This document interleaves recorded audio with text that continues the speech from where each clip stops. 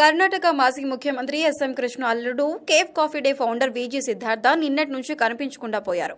ఆయన సోమవారం మంగళూరు వెళ్తూ నేత్రవతి నది వద్ద డ్రైవర్ను కారు ఆపమన్న సిద్ధార్థ ఫోన్ మాట్లాడుతూ పక్కకి వెళ్ళారు. అలా వెళ్ళిన ఆయన ఎంతసేపటికి తిరిగి రాలేదు.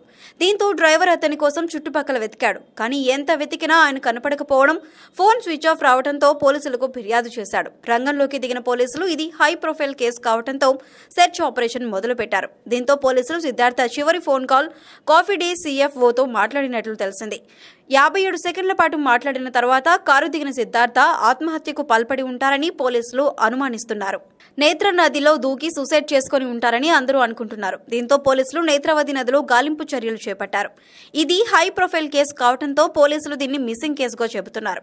ఇప్పటికే ఎస్ఎం కృష్ణ ఇంటికి చేరుకున్న కర్ణాటక సీఎం యడ్యూరప్ప మరియు ఇతర నేతలు ఆయనని పరామర్శించారు. ఆయన కనిపించకుండా పోవటానికి కాఫీ డే కంపెనీకి నష్టాలు రావడంతో పాటు ఇతర వ్యాపార లావాదేవీలే కారణమని సిద్ధార్థ సూసైడ్ చేసుకుని ఉండొచ్చని స్నేహితులు కూడా అనుమానం వ్యక్తం చేస్తున్నారు.